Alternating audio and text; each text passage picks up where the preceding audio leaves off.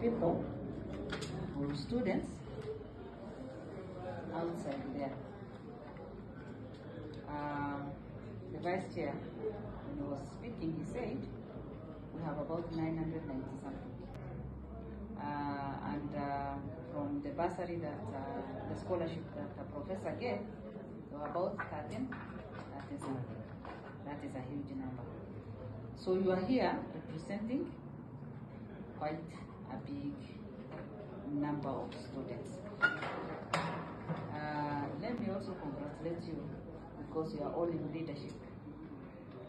Although we say that uh, young people are leaders of tomorrow, you are already, leading us. So I want to congratulate you because even if you are not directly dealing with me, you are already a leader in our society. Uh, I will go directly to the questions or to the issues or the things that you have raised. So number one, mambo ya GAF.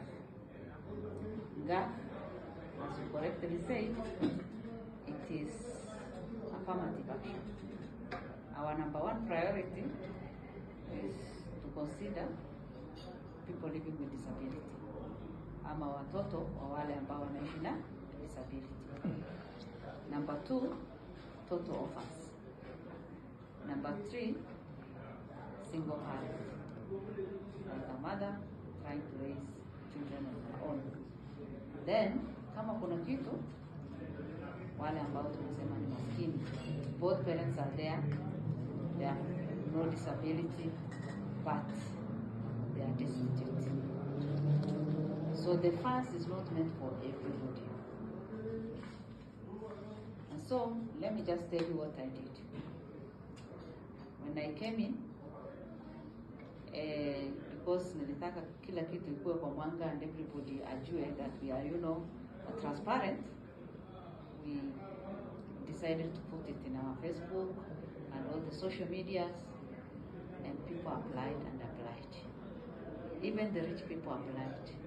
Hata wale wako na wholesale matajiri wa Marsabit County wote wali apply.